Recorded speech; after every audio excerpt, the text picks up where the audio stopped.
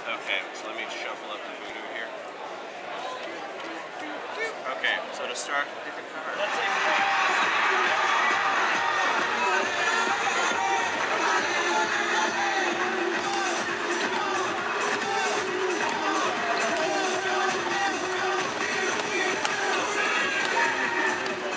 So presently, uh, your uh, your spine is an infinite cosmic mess, and so So is three your different menus. You have But that's just the a start. menu, and the Mm.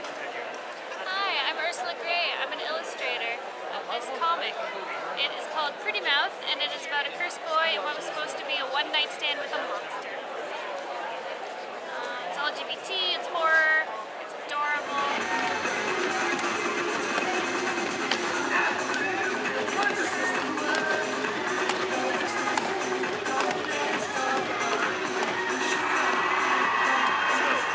immediate challenge is something. In your distant past, uh, you were a bird book snake thing, um, and in your recent past, you've been a robot riding a gorilla.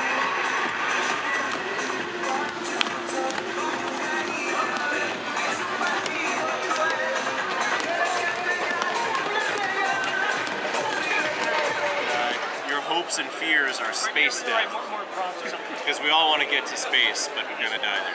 Uh, and so your final outcome, I feel like it's this one.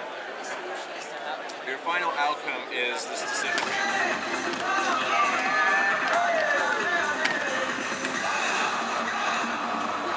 Is this decision maker, which means not only will you lose those three vertebrae, probably, but you might have to choose which ones.